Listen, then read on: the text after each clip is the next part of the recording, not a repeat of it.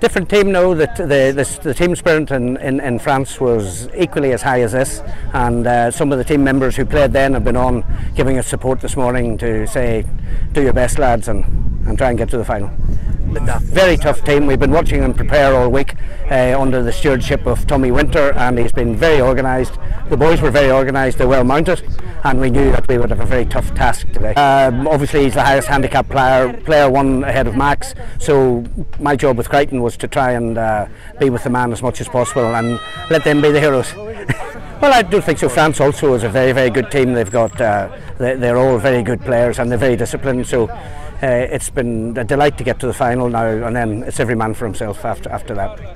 Oh, I, oh, I, I had a chairman of the HPA ever been the Europeans? I don't know, but there are lots of former chairmen of the HPA who've been much better players than me, so they probably played in the high goal. Yes, no, absolutely, and we came a grandfather last week, so so it's all, all very good.